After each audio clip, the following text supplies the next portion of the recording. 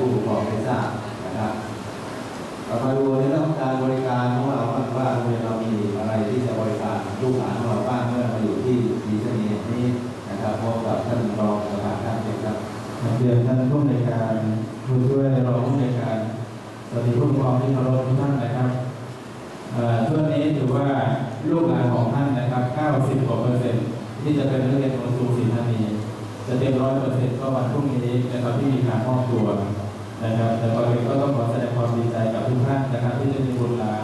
ได้เรียนที่โนนสูสินธานีนะครับ ในส่วนของฝ่ายบริการ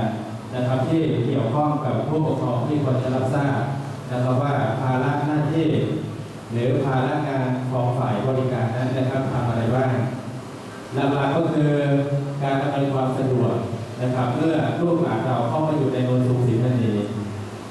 บรรยากาศสิ่งแวดล้อมนะครับสาธารณูปโภคต่างๆ นะครับระบบไฟระบบน้ำห้องน้ำต่างๆความสะอาดของอาคารสถานที่นะครับก็เก้าอี้นะครับภายในห้องเรียน ระบบไฟต่างๆภายในห้องเรียนสิ่งเหล่านี้คือบทบาทหน้าที่ของฝ่ายบริการนะครับขออนุญาตเล่าตั้งแต่เรื่องของงานอาคารสถานที่และสาธารณูปโภคนะครับเมื่อเข้ามา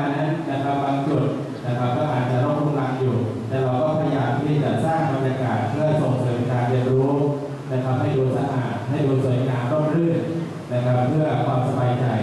สักครู่ที่ผ่านมานั้นนะครับฝ่ายวิชาการก็คงจะตระหนักให้ลูกหลานของเราเป็นคนเก่ง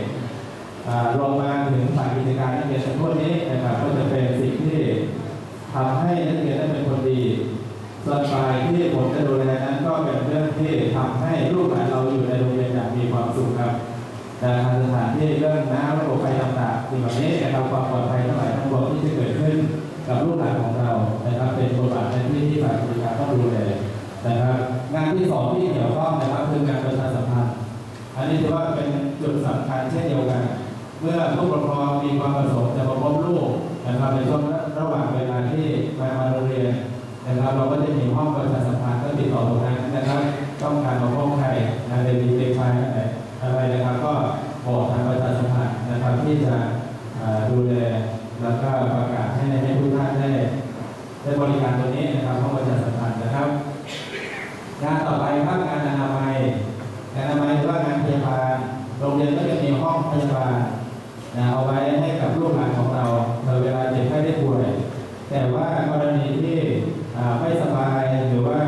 เรารับทราบล่วงหน้า